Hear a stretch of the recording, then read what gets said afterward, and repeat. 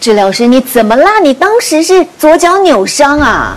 是我在三月底的时候，在半夜大概十二点左右回家的路上啊，就一边走路一边划手机，然后就踩空扭到脚。哇！身为一个治疗师，脚扭伤了，我还有你当时那个肿起来的画面，那一张照片是第二天。对，刚扭到了第二天，就是淤血已经整个就是跑出来，然后都肿的。对。而神奇的是，他在两周之后登上了万里长城。对，就是去那边走走看看。对，然后那个时候其实脚的状态啊，也还是会有一点痛痛的，但是它其实是可以让你活动，所以就在一些防护之下呢，我就去走万里长城了。今天要公布，当时他就是做了这一套 SOP 急性扭伤处理的 SOP。第一件事情，你冰敷。其实，呃，大家都现在有一些说法说，哈，这个冰敷可能不好，会影响循环。那其实我们现在希望的是，你刚扭到的时候可以冰一下，刚扭到大概冰个十五分钟，那可以避免它里面就是过度的出血，然后呢过度的肿胀。那冰敷完了之后呢，我们就会做加压固定，这是他当时做的第二件事。对。所以你看到我们首席 model 在这儿，那个时候治疗师就是这样子贴自己的啦啊。当然你还是要就医，他只是要公布当时他的 SOP 第二件事情做的是加压固定，怎么贴？没错，那我们现在呢，就是利用肌贴哦，把这个关节把它稍微抵住你的小腿，所以说我们会从这个外侧胫骨的中央，好把它做贴住的动作。它是保护哪里啊？这个是要让关节哈，就是被挤压住，避免说，诶，因为肿胀会造成更多的疼痛。嗯嗯。所以说我们会在这个地方贴住之后呢，然后做一个拉紧的动作，啊，拉紧之后再一路的往内侧的上缘贴。我们可以从这边这样看，贴紧。哦。对。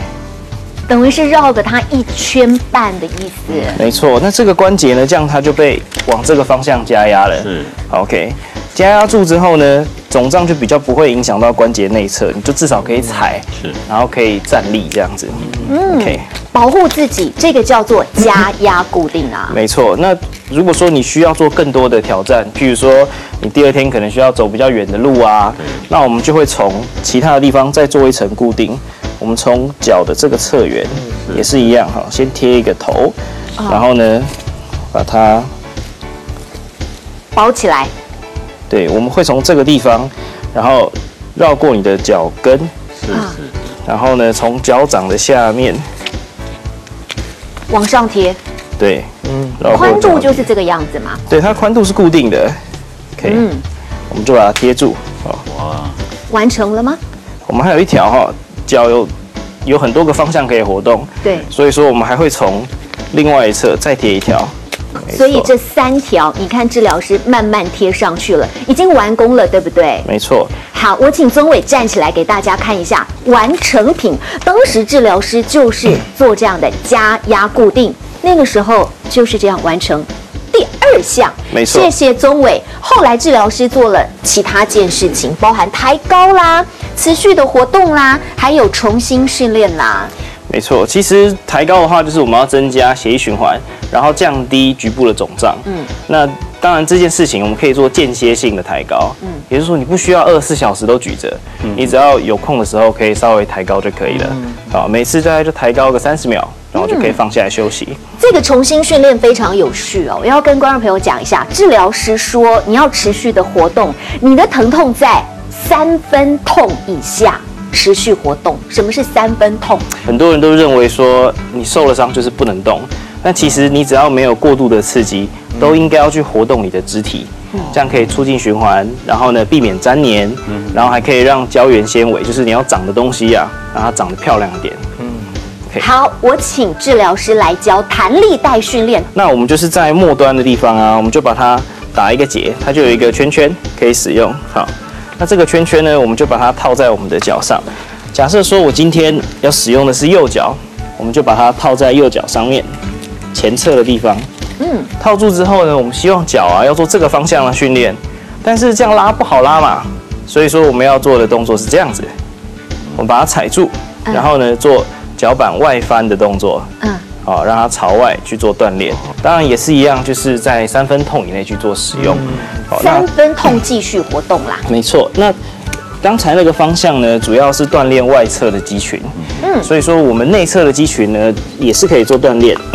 我们就把带子换个方向，这只脚把它翘过来，一样啊，把它顶住就可以了。然后呢，拉紧之后做这个方向的用力。哦，哇，这个有点难。反向伸展的意思啊。没。错，没错。嗯观众朋友，我们要请您拿起你的手机，因为在我们的新闻镜面上，您会看到 QR code 的出现，要请您扫描，请您重新订阅全新的聚焦二点零首播，记得收看。如果要复习的话，一定要上 YouTube 复习，我会停留个几分钟等你扫描。接下来这段 VCR，这是许医师独创的，叫做 ABC 活筋操，它可以活络全身筋骨。跑完步以后呢，啊，我会做一个 A B C 活筋操。第一个动作呢，啊，就是向上合掌，一、二、三，它可以活络你肩膀的筋骨。好的，第二个动作呢，就是指左右交叉，一、二。